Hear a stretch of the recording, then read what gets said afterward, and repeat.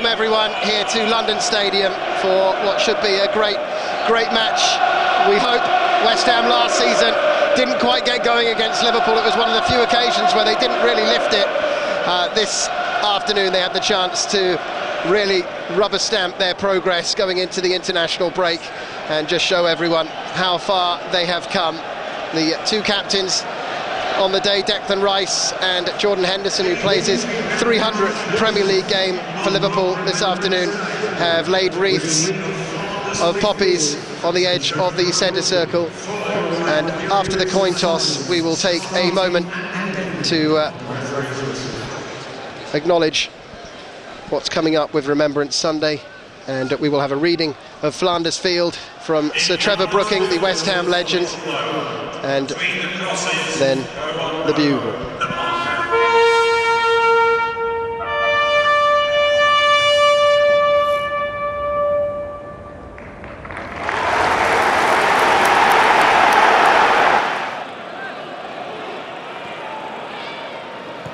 Robertson, another good pullback. If anyone's around that penalty area, uh, sorry, the penalty spot in the box, uh, they'd have a, maybe a shot on goal there, but cleared away, and Antonio is racing away. He's got there before Van Dijk. Can he whip across in? Van Dijk stands up and gets a foot in, but it's behind for a first corner of the game for West Ham.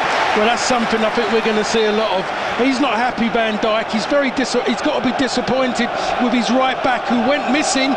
He didn't want to do the hard work and go of Antonio. He's he's allowed Van Dijk to come from the left-hand side, almost to the far touchline, to take Antonio. He does not want to do that. What a good chance early on here for West Ham with this corner in the fourth minute. Liverpool bring everyone back. Just Salah outside the penalty area for them. Three West Ham players just outside the box. As in comes the corner. It's right on the goalkeeper. He's missed it, and it's in. West Ham United have the lead. Ogbonna is taking the congratulations. Alisson is claiming he was fouled. I didn't see a foul. They'll obviously review it, but he missed it there, Alisson. Yeah, I'm looking at the referee. The referee's reaction. He's waiting for something in his ear. He hasn't given any signal at all. to The He's waiting. Liverpool, and be honest, do we wouldn't expect a goalkeeper to, go, to accept when a goal goes in like that to accept it's not a foul. They're checking it. Ogbonna went up. I don't see any contact really with the keeper. Uh, that would have been enough for a foul from Ogbonna and Antonio. The keeper's not been strong enough there. No, Declan no. Rice is having a right argument with him. I don't see any hand there. Yeah. It's a goal. It's a goal. West Ham United have the lead. No handball. That was pretty clear. Matip just rolls the ball under his foot, then plays it forward in between the lines to Henderson. Out to the right, he will go to Salah. Salah's cross is cut out by Soucek going back towards his own goal. And then Antonio Ah. trying to bring the ball out of control, just heads it straight down to Fabinho. Good spell this from Liverpool. In comes the cross and Jota's header is only just onto the roof of the net. Must have been only a, a foot or so wide or over. Maybe just caught the stanchion or the roof of the net, but that was it. A good first time cross. And Jota can be dangerous in those circumstances. But- can be. and he will send the ball down the right looking for Salah. Great first touch, just cushions it down. And he's got support up there, We'll lay it into the path of Alexander Arnold. He helps it on to the left of Robertson. Now Oxlade Chamberlain dribbling into the West Ham penalty area, sends the ball across goal. It's headed away uh, only as far as Alexander Arnold coming in on the edge of the box. He's tried to volley that in. He's claiming he was caught as he was trying to get that shot away. It was a very high volley to take on. He's looking up, smiling at the referee, I think, saying there was a definite foul. The referee is saying it's a goal kick. And we're seeing more and more of this at the moment. And he's Yeah, held I back up. I know, it's just- again not a bad injury. He's just got to stay strong, the referee, and not go for all, all that they're trying to do, Liverpool. Every time something doesn't go their way, like a shot, they're looking for the ne- next thing after. And Benrahma is not there. His feet, he's kept his feet down, which is good. He hasn't gone high towards the ball. No.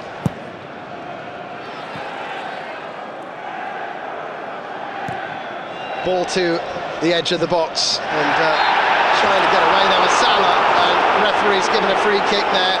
Again, it's one of those ones that we've seen throughout this first half where Declan Rice is saying, I hardly touched him. Salah has gone down. West Ham have got everyone back trying to defend this free kick. Alexander Arnold, oh, it's in! He's one of the best in the world at that. He just clipped it into the top corner. Fabianski was wrong-footed, and Liverpool equalise through Trent Alexander-Arnold. It's West Ham United 1, Liverpool 1 with five minutes to go to half-time. Yeah, I'm just disappointed because it, I just don't like situations like that when players do what he done Salah there. They've done it, used the situation, and they've got a referee who has made a poor choice. Headed down by Alexander Arnold straight to Antonio. What was he thinking with that header? Now Benrahma to Antonio, back to Declan Rice. Rice trying to move it forward, gets it down the line to Cresswell. Cresswell, can he whip it across here for West Ham? He took too long, Henderson blocked it, it's behind for a West Ham corner. Yeah, he, did take too long. The problem is if it had gone early, there was no one in the box, a bit like Benrahma's great touch, first touch, goes past Alexander, um, Trent Alexander, um, Arnold on the byline, knocks a lovely ball, and there's no one in the box. Can they make something happen from this corner as they did in the first half? It's floated in dangerously after the crossbar there. Dawson was going in for that. Declan Rice was there as well, and it's Rice who think got the final touch on it onto the crossbar. Lovely delivery again, oh. and it's onto the bar. It's Declan Rice. Any lower,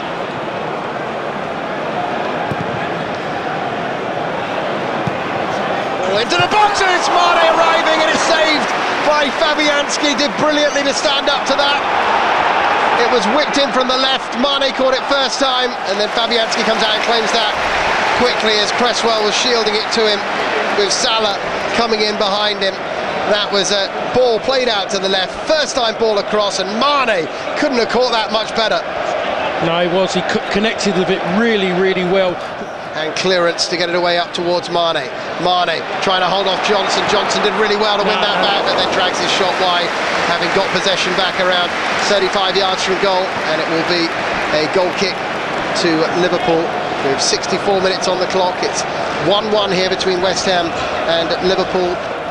Only once before have West Ham had 20 points after 10 games of a Premier League season. That was under Slaven Bilic in 2015-2016 when they started like a house on fire. They, they actually won 3-0 at Anfield that season. As here come West Ham again, it's a brilliant ball through the middle. This is for It's in! They lead 2-1! And the roof comes off here at London Stadium! The Spaniard Fornals had a lovely ball played in this half by Bowen. Seemed to take a slight deflection off the keeper as he hit it, but it still had enough on it to creep over the line. And for a second time in the game, West Ham lead against There's a quarter of the match to go. West Ham 2, Liverpool 1. And I think West Ham deserve it because they've really gone at Liverpool. They haven't just sat back and accepted the fact that Liverpool are better than them. They've gone at them. And it's not about Jarrod Bowen. Jarrod Bowen is the one who's, dri- he's driven through two lines of players and he's selected his pass really well because Antonio was offside. And it's that late run of nails that he's just played it into and a lovely on the outside of his left foot. And nails has gone to the left hand side of Alisson. He's got his hands to it, should have been better. He looks a little bit like Butterfingers, goes I think underneath him, but I'll tell you what, I think they deserve that goal, Andy. Really, really do. Antonio, brilliant strength to win that ball back off Fabinho. He anticipated it superbly, and now they're on the break. It's a three on three. He's got to try and get past Virgil van Dijk. Gets it! Oh! And the save from Alisson. Absolutely critical, I thought, but the flag goes up anyway. Fornals would have been just offside. Antonio finally got the better of Van Dijk.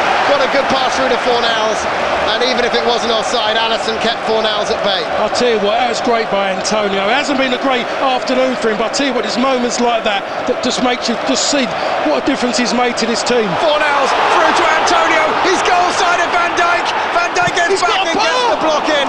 And it's gone off the uh, Dutchman for a corner to West Ham. West Ham are suddenly all over this Liverpool rearguard.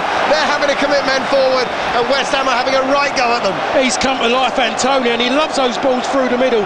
But he just wanted the men. Are you going to be Van Dijk for pace and strength? No. A back heel to Jarrod Bowen behind him, and I'm sure he was screaming it to him, saying, "Soul it, soul it," and he would have stepped onto it.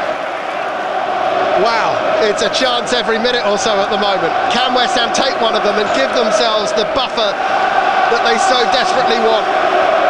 Here's a corner. They've had some excellent corners so far this afternoon. Bowen sends it in. Zouma's arriving. Would you believe it? Kurt Zouma makes it 3-1 to West Ham. This is dreamland. Liverpool can't believe it. Their long unbeaten run might be in tatters now. West Ham with 16 minutes to go are possibly getting another big scalp here. West Ham 3, Liverpool 1. Absolute madness. Am I right in saying West Ham have had three corners? One they've scored from, the other one, I think, the crossbar off of Declan Rice, and the third one, Zouma at the far post. And it, what a great header, but what? The goalkeeping was poor. Where was the main man, maybe Matip or Van Dijk, going with someone like Kurt Zouma? What a wonderful header. And I think now we're seeing West Ham are going to beat Liverpool, and they deserve so. Second half has been absolutely excellent. Look at David Moyes' reaction to that one. Now back to Henderson. Floats it into the box, headed down to Origi. Oh, great tackle again by Soucek. He's such an important player in that area of the park, not only for when he was getting forward more last season, but remember how Fellaini used to play for Moyes' Everton. He wins so many loose balls in that area of the park. Origi on the turn, left-footed volley. He's put it into the right corner, and Liverpool have got another chance here as Origi off the bench flicked the ball up on the turn, rifled that volley into the bottom right-hand corner. And it's Liverpool back in it. West Ham 3, Liverpool 2, seven and a half minutes to go. And that's what happens when you sit back. And I've been talking about Antonio, but Antonio has got to stay up there. He might want to come back, but he's got to stay up there just at least to take one play away, to take Van Dijk away, and maybe leave himself one against one with, Nat, with Matip. They need, they need an out ball sometimes. Michail Antonio given man of the match. It's a head scratcher. I can see some quizzical faces all around me here, Paul. Well, I'll tell you what, I'd love to know what game he's watching. Even Stuart Pearce seemed Yeah. uh, confused by that one. Yeah, blimey. I could maybe name you another four before that one at least. Hey, look, he's won a lot of man of the matches, and rightly so this season. But Yeah. I don't think this is one of the ones that he would have expected. Referee- he's given it, he's given it. Oh, Oh, no! foul on Minamino, right on the edge of the D. It looked fairly innocuous again. That He- one. he, he walks across and it's like he's trying to apologise. That's the thing that does me. I'd rather him go in and say, I'm right, I'm the, and be strong about it. He's not. It's Soucek, who's slightly further right than it was first half, Paul, but it's a very similar situation. It's another really cheap free kick. Yeah, it is. It's Liverpool have got. But then sometimes you should know that you should know now what they're going to do. So you don't give them the opportunity. You don't you don't make the contact, and you leave it up to them because all of a sudden that affects their heads. Then what they're going to do next if they're looking to fall over. Four minutes of added time here with another free kick for Alexander Arnold. Who Look scored near post. earlier. He's going for the far post to Mane, heads it down just wide of the post. Alexander Arnold can't believe he's not put that in. Mane, but he's headed it wide, and maybe, just maybe, that will be the moment that Liverpool will look back on. Well, well, I'm looking at Kurt Zouma, and Kurt Zouma is holding his head. He knows he has failed as a defender. That will be about that time-wise, Paul. It certainly will be. And this could be a bit of a seminal moment, couldn't it, really, in terms of we've had these big wins lately against Manchester United, Man City in the League Cup. We've had a victory against Tottenham, of course, which everyone here would have loved, but this is a big one, isn't it, to beat Oh. Liverpool in the current form they're in. Oh, it certainly is. It's a great one after what they went. They went to Old Trafford and they've got a point at home. Got a point at home at Brighton, and they've come to West Ham and got beat. There's the final whistle from the referee, Craig have done it. They have beaten Liverpool for the first time in 11 games in the Premier League. It's been a long time coming, almost six years, but they've done it this afternoon. At times they will have felt even the officiating was making it difficult for them. But after the equaliser from Trent Alexander-Arnold for the own goal from Alisson in the second half, Ham really came at Liverpool. They got a goal through Pablo Fornals, who was excellent, teed up by Antonio through the middle. Alisson couldn't keep his shot out. And then a first goal for West Ham for Kurt Zouma from another corner, which was expertly delivered by Jarrod Bowen. Liverpool got another goal back towards the end through Divock Origi. But on the day, West Ham had enough to hold out and they move above Liverpool in the table. They're three points off the top. They're level with Man City. Extraordinary times for West Ham and their fans. It's all over here. West Ham 3, Liverpool 2.